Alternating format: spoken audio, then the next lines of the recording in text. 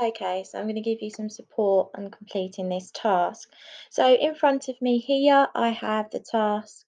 You've got some birds, amphibians, mammals, and insects here. Now you are just simply going to drag these into these different sections over here. Now, what we could do to help us is, for instance, if we're thinking about a bird, so this is a robin here, we can remind ourselves by flicking back. So I'd suggest you have this on another tab, flicking back to the table, the categories of the different animals. Now we know we're looking at a bird, okay? So this section is going to help us. Now it says, which animals have backbones? Let's have a look. Do birds have backbones?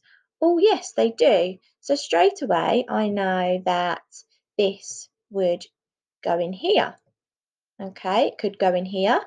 We could also think about which animals live in water. Do birds live in water? Hmm, let's think. They lay eggs on or above land. Okay, they live above ground, but some can swim. So they actually live above ground, so they don't live on water. So we know that it couldn't go in here, okay, because they don't actually live in the water. Okay, which animals have feathers? Now we can have a look back here. Oh, a bird has feathers. Okay, so it could also go in here. So it's up to you. But when you go through the task, just make sure you've got some examples in each of them. Which animals lay eggs? Do birds lay eggs? Let's have a look. Um, they lay eggs on or above the ground. So yes, it could go in here as well.